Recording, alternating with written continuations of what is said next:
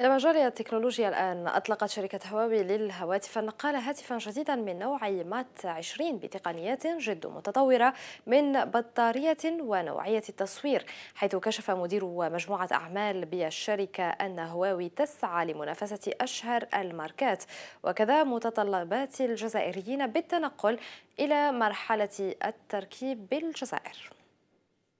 See, first uh, we have we have the uh, AI uh, processor, and we have the NPU processor, and we have um, for the software we are uh, more stronger than than uh, compared with the other models.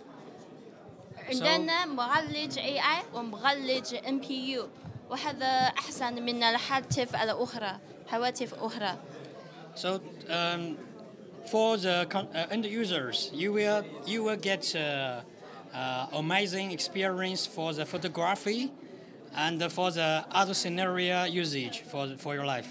آه، أن في مجال التصوير آه، عندنا أحسن الت- م، نعم التكنولوجيا في هذا لأن هذا التجربة لا لا يوجد في ال- قبل في الت- نعم Uh, for us, if something must be done, it must be done well.